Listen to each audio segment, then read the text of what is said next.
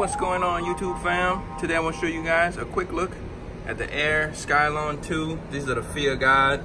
Uh, there was another colorway that released in these and I've been wanting to try this silhouette out. Um, so I was looking at like some of the OG colorways and just some other colorways and these were actually way under retail.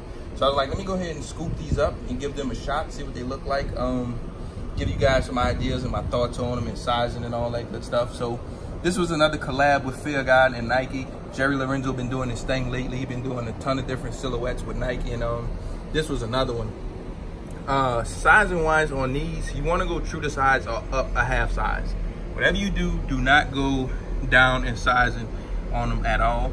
This particular model, uh, they ran really, really exact on them. So normally I'm a 10 in runners and that's what size I got. And I'm glad I did. If I went down to a nine and a half, I would have probably had to try and sell them and return them. Um, you can see that they came with an extra set of laces. They also came with some flat uh, black laces. Um, I probably leave the ones that's in here right now. They came with this little uh, this little lace lock on here. The laces aren't long enough for you to, to tie them if you wanted to, so you kind of rock them like this. Uh, but here you guys go, man. I'm gonna do a review, go over the box. I know you guys probably seen videos of them already because they came out such a long time ago. Um, but like I said, I just wanted to try these out, and then if you know, like a scoop, scoop or shoot for under retail is like a no-brainer to me. So here you guys go, man. Just want to share out what they look like really quick on feet. Thanks for watching. See you later.